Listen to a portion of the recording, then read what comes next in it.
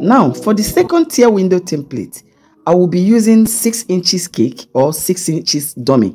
Whichever you decide to use, you should make sure that the height is up to 10 inches, okay? Now, position a 10 inches board under the cake and 10 inches board on top of the cake. After that, take the accurate measurement from the downside of the board to the upper side of the board, okay? Now, the measurement gave me 10 and a half inches. Now, remember that the board is 10 inches already.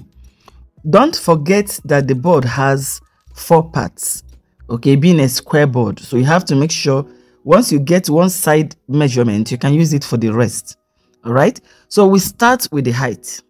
I am starting by the left side, okay, to get the height, and the height is 10 and a half inches. Take note of that. All right, after measuring that side, Always make sure you give a mark when you measure. You go to the right side and repeat the same. And after that, you place your ruler and rule across.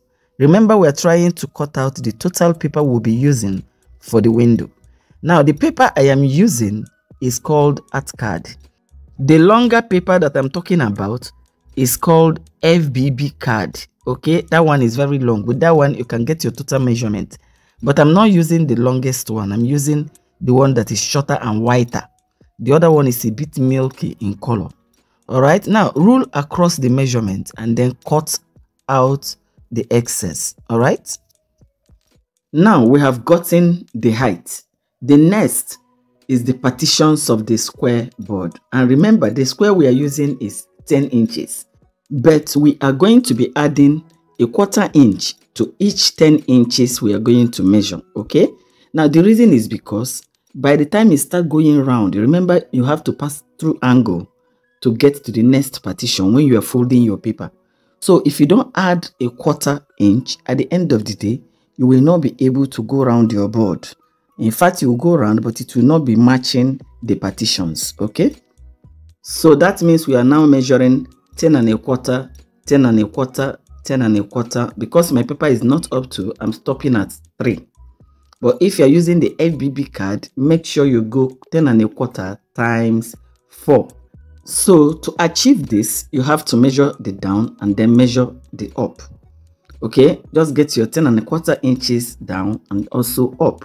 At the end of the total measurement, you are going to also measure half inch. That half inch is what you're going to be using to join at the end of the paper. Okay, and after that, you rule across. This time around, you are not ruling to cut, but you are ruling to get the demarcations right. Like I said, this paper is not long enough, so I stopped at 3, as the next one will not be enough for me to get an equal measurement, okay? But there is something you must do. At the end of that 3, or even the 4, you must measure an extra half inch for your joining. Don't forget, this is very vital you can see the smaller one I folded there is a quarter inch. That's the part you will use in joining together. Now fold them according to the lines and this is what I have gotten. The three partitions, remaining one.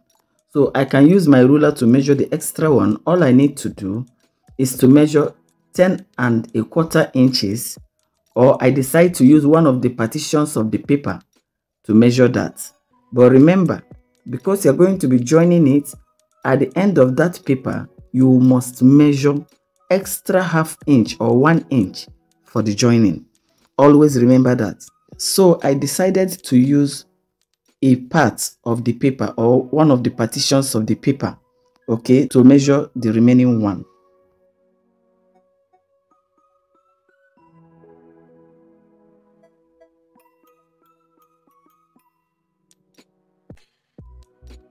Now, after measuring with the paper, rule according to the measurement. But remember, the part of the paper I use for the extra measurement does not have the half inch or one inch.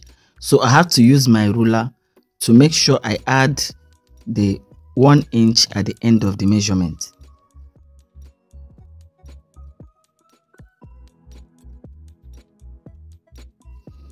After measurement, rule across and then with your craft knife, cut to remove the excess.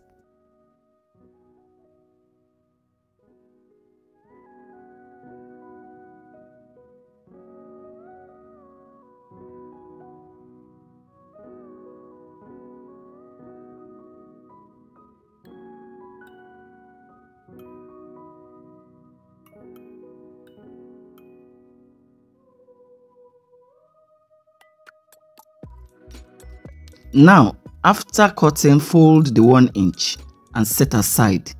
And then with your UHU gum, join them together so that you can see the necessity, the importance of that 1 inch. Now do this patiently as it doesn't dry that fast like some other glue, okay? But once it dries, you are fully assured that it will not scatter again. Now, art card is that same card we normally use in making the boxes we use in carrying our cake. Okay, and you can always get them in the art shop. So you can see, this is what I have now. I have the complete four partitions, but I'm not going to be joining them now as much work is still needed for the windows. Now for the windows, all you need to do is to measure half half inch, okay? Half inch from beginning to the end of the paper as if you are measuring the handrail. You remember the way we did the handrail? And then you pick out the parts. Use your discretion to pick out the parts you think the windows should be okay? You can even use the method i'm showing you here. I have used biro so that you'll be able to see the lines. So this is exactly what i did.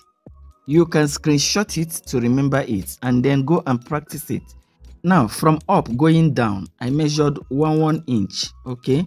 The double lines you see there each one is one inch from beginning of the paper to the end okay? While the middle lines okay the stripes you saw there is the half half inch okay? Now for the in-between lines i have just given a gap of one one inch to the lines so that something will be carrying the window okay? So this is just what i did. Then after i pick out the ones that should be picked out as if we are making a handrail it is exactly the same way with that of the handrail picking out some and leaving some. Just make sure you mark to get to get it done right okay? In other words you can decide not to even go by the lines and just work with the partitions of your paper. Use your ruler and position the windows on your own but make sure they are placed the heights of the windows are equal. Both the height and the down part of the window are equal and on the same line. You must not go through the stress to get a line okay? Now the line is only to help me.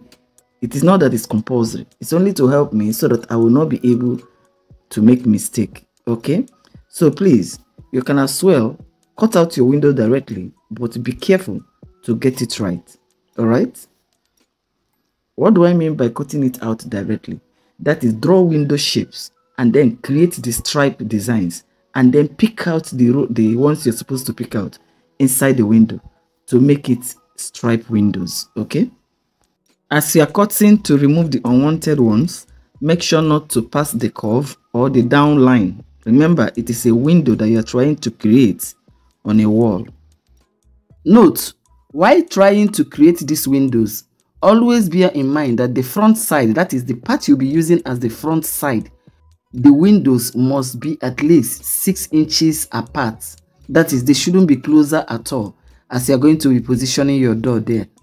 And for the curve, I have used my round cutter to create the curve, okay? You can use anything that has a round shape. So this is what you will be doing until you go round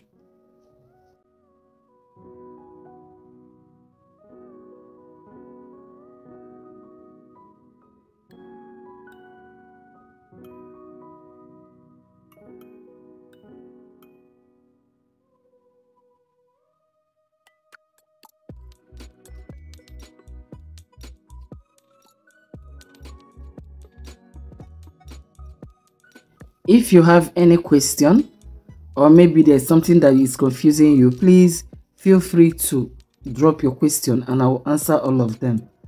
Okay? That is it for now. Thank you so much for watching. See you in the next video. Bye for now